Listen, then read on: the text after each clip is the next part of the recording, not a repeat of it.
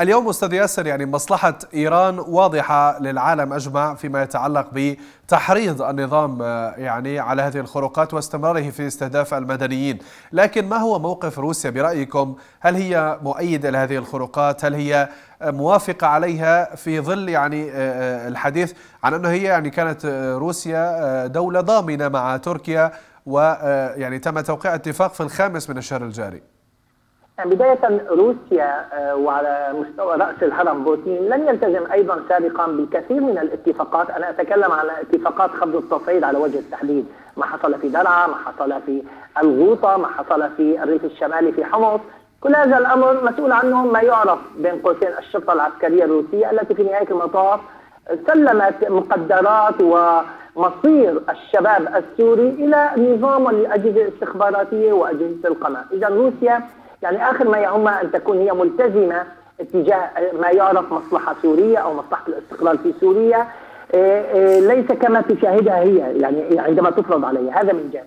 من جانب آخر أنا بتصور روسيا أيضا تغض الطرف باتجاه هذه العمليات الاستفزازية من أجل الضغط على تركيا، هي ترى أن تركيا حتى هذه اللحظة يعني لم تنفذ كل الالتزامات أو جميع الالتزامات التي قدمتها حتى في اجتماع موسكو، أنا أتكلم عن الدوريات المشتركة على وجه التحديد في نعم. المسار ام 4 اذا روسيا توصل رسالة إلى تركيا على أنها يعني غير مسرورة وأنها ستغض الطرف عن أي العمليات العسكريه الاستفزازيه كون أن تركيا لم تلتزم حتى هذه اللحظة فيما يعرف في الدوريات المشتركة، والامر الثالث أنا بتصور أيضا روسيا تشعر بخوف واضطراب نتيجة التزاماتها تجاه أمريكا تجاه المجتمع الدولي بتقليص دور إيران، هي ترى أن إيران مصلحة استمرار إيران في سوريا مصلحة يعني لروسيا لفترة ما ولكن لديها التزامات لتقليص هذا الدور.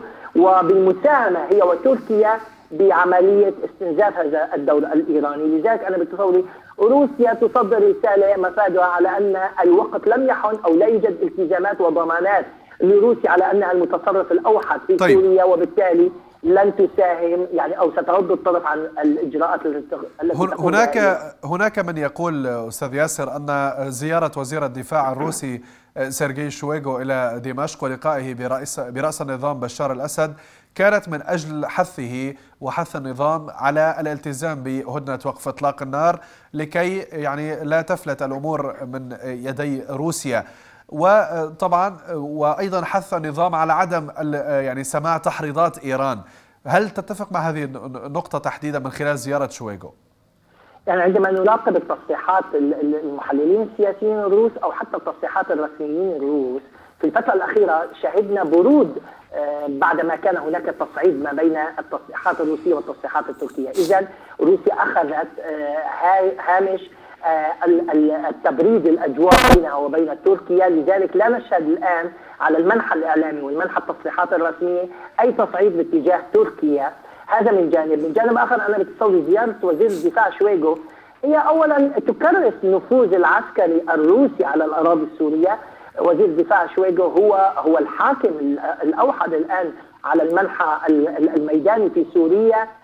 كون أن روسيا يعني في نهاية المطاف هي الدولة المحتلة حقيقة لسوريا وهي التي تستطيع أن تتلاعب بمقدرات الواقع في سوريا.